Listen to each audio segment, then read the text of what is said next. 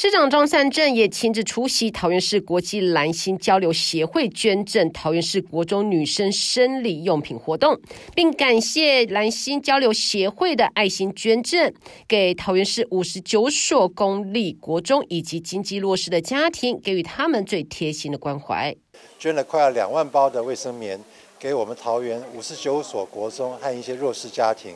让我们这些国中的女同学，如果在生理期，感觉到因为卫生用品的不够而有焦虑的话，我们希望透过这个捐赠，能够免除她的焦虑，让她更有自信心，进而可以让他在学习上面也更有效率。我觉得看起来只是送一些卫生的耗材，实际上是展现我们蓝星协会对我们国中女生还有弱势家庭女性的关怀。呃，我觉得非常非常感谢，展现出我们蓝星协会其实是一个非常充满爱心的协会。张善政也说，桃园市国际蓝星交流协会的捐赠看似简单的生理用品，正提供了最需要被协助的孩子，在最需要被关注的时间，最为适当的用品，使弱势家庭和在校急需使用生理用品的女生可以得到妥善的照顾与关怀。非常感谢国际蓝星交流协会在三八妇女节的这一天呢，呃，捐赠我们国中女性的这个女生的生理用品。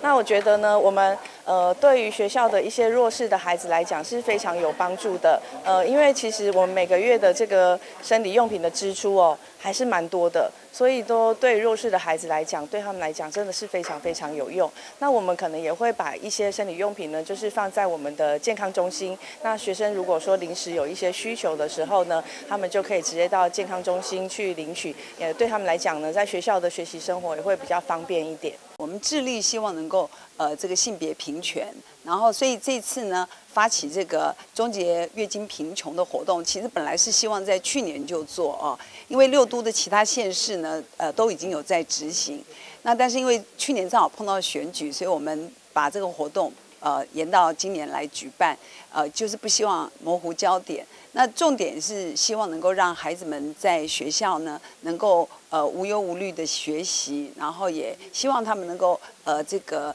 呃摒除掉这个呃月经这个带来的这个不适，或者是呃这个名词上的一个羞愧啊。我们希望能够真正的落实呃从孩子从小一起做起。桃园市国际蓝星交流协会表示，希望借此抛砖引玉，邀请更多善心人士共同挹注支援，将活动延伸到国小。高年级让月经贫穷一词在台湾消失。记者董宇飞市府采访报道。